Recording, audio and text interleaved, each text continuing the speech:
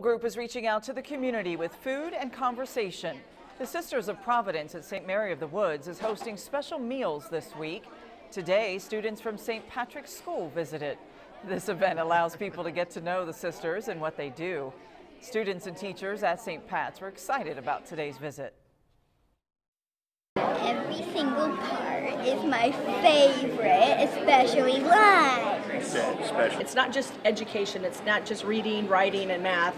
It's about faith, about being good stewards of the earth, about of one another, being kind to your neighbor, and taking care of our neighbor. This is the fourth year for the event. It coincides with National Catholic Sisters Week. We're just